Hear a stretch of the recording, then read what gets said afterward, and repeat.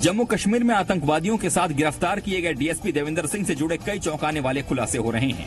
आतंकियों से रिश्ते रखने वाला ये डीएसपी न केवल श्रीनगर एयरपोर्ट पर बेहद संवेदनशील पद पर तैनात था, बल्कि श्रीनगर के इंदिरा नगर इलाके के बेहद पौष इलाके में सेना की 15 कोर यूनिट के हेडक्वार्टर से एकदम सटाकर करोड़ों की लागत से कई मंजिला घर भी बना रहा था।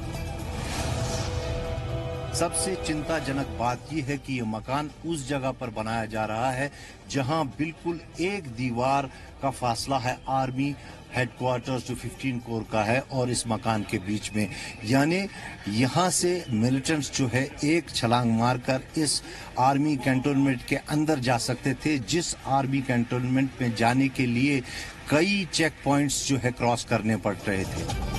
पूछताछ के दौरान खुलासा हुआ है कि आतंकियों के साथ गिरफ़्तार डीएसपी देविंदर का श्रीनगर के साथ साथ त्राल में भी घर है, जिनकी कीमत करोड़ों रुपए में बताई जा रही है, जबकि वो खुद श्रीनगर में अपने रिश्तेदार के घर किराए पर रहता था। इस किराए के मकान से जाँच एजेंसियों ने हथियार और 12 लाख रुपए कैश भी जब्त किया है।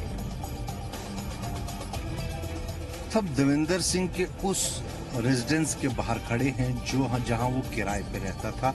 और ये उसके रिश्तेदार का घर है। आप देखिए, ये गेट इस वक्त बंद है। पूरी तरह से यहाँ कहीं छापामारी हुई है पिछले कई दिनों से, जब से देवेंद्र सिंह जो है गिरफ़्तार हुआ है। यहाँ से ही बताया जा रहा है कि आर्म्स एंड एमनेशन जो है रिकवर हुए थे, जिसमें सूत्रों के मुताबिक देविंदर ने पूछताछ में कबूल किया है कि उसने 12 लाख में आतंकियों को दिल्ली पहुँचाने की डील की थी। डील के मुताबिक देविंदर ने पहले आतंकियों को जम्मू पहुँचाया, फिर यहाँ से आतंकियों को चंडीगढ़ पहुंचाना था, जहाँ से आतंकी दिल्ली पहुँचते। खुफिया सूत्रों ने बताया कि आतंकियों की ये योजना गणतंत्र दिवस आरोप हमला करने की थी।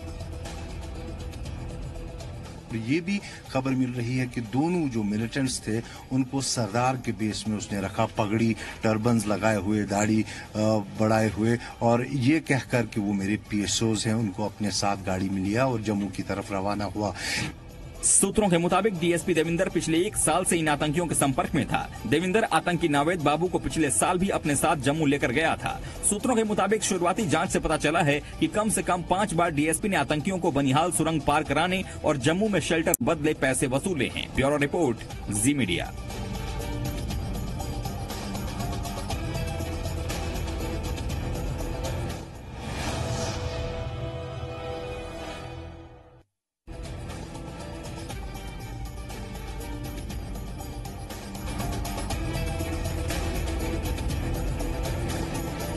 आतंकियों के दोस्त जम्मू कश्मीर पुलिस के डीएसपी देविंदर सिंह पर अब सियासत भी शुरू हो गई है। लोकसभा में कांग्रेस दल के नेता अधीर रंजन चौधरी ने इस मामले को सांप्रदायिक रंग दे दिया है। कांग्रेस सांसद अधीर रंजन चौधरी ने कहा कि अगर डीएसपी का नाम देविंदर खान होता तो कुछ और प्रतिक्रिया आती।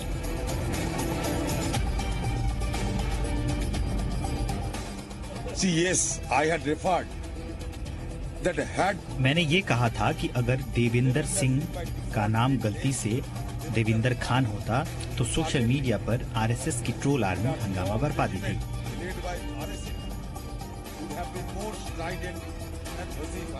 मैंने ये कहा था कांग्रेस प्रवक्ता रणदीप सिंह सुरजेवाला ने भी देविंदर सिंह को लेकर ट्वीट किया। उन्होंने ट्वीट कर पूछा, देविंदर सिंह कौन है? 2001 संसद हमले में उसकी क्या भूमिका है? पुलवामा हमले में उसकी क्या भूमिका है? जहाँ वो डीएसपी था, क्या वो हिजबुल आतंकियों को अपनी मर्ज़ी से ले जा रहा था, या वो सिर्फ़ एक मोहरा था और मुख्य साजिशकर्ता कहीं और है? क्या ये बड़ी साजिश है? उधर बीजेपी ने भी कांग्रेस पर पलटवार करने में देरी नहीं लगाई। बीजेपी प्रवक्ता संबित पात्रा ने आरोप लगाया कि कांग्रेस आतंकवाद पर पहले से ही धर्म की राजनीति करती आई है। अधीर रंजन चौधरी ने मिनटों के अंदर धर्म ढूंढ लिया। आतंकवाद के ऊपर धर्म की राजनीति करना यह सदैव से कांग्रेस का तरीका रहा है। सैफरन टेरर हिंदू आतंकवाद, यह शब्द किसी ने कॉइन किया था तो वह कांग्रेस पार्टी है। इस सब के बीच जम्मू कश्मीर शासन ने साफ़ कर दिया कि ऐसी घटना पर सियासत नहीं होना चाहिए, और एक गंदी मछली के कारण पूरे तालाब को गंदा कहना ठीक नहीं है। हरगिज नहीं पुलिस के दामन पर कोई दाग, दाग नहीं है। पुलिस के दामन के ऊपर बहुत सारे अपने शहीदों के ब्लड है। हज़ारों लोगों ने कुर्बानियाँ दी हुई। एक ब्लैक शिप एक गंदी मछली से हमारा ये तालाब गंदा नहीं होगा। आपको बता दें कि श्रीनगर एयरपोर्ट पर तैनात डीएसपी देविंदर सिंह को हिजबुल मुजाहिदीन के आतंकवादियों के साथ एक कार में पकड़ा गया। अब उससे पूछताछ में पता चला है कि वो लंबे समय से आतंकवादियों के संपर्क में था। देविंदर सिंह को पिछले साल राष्ट्रपति पुरस्कार से भी सम्मानित किया गया था। Bureau report Zee media.